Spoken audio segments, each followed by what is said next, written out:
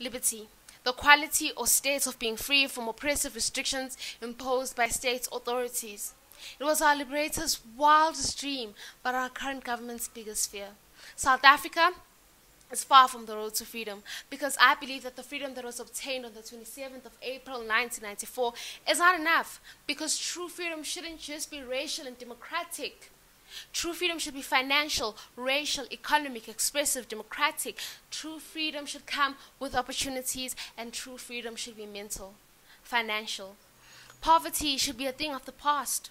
No teenager should worry about putting food on the table while their peers worry about doing their homework. No teenager should ever make the harsh decision of choosing between school and becoming a breadwinner simply because of a corrupt and selfish government that will always sell you your wildest dreams on election day but never fulfill them.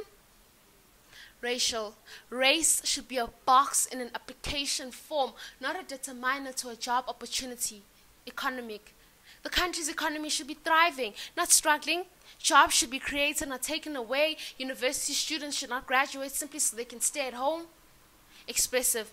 Individuals should feel free to hold opinions, receive information without the interference of state authorities. Democratic. Democratic countries should not just be a fancy title. The state should actually respect our fundamental rights as citizens and humans in general. Opportunities.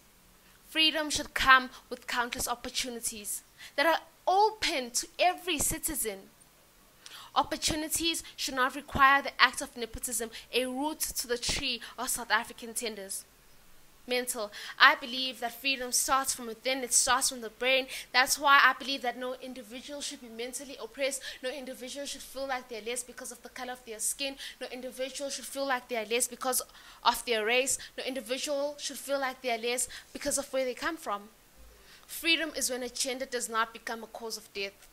When the government protects its citizens, not oppress them when members of the cabinet and the National Assembly finally decide to take a seat and let the youth take over because we are the future and we can easily adapt to this innovative world.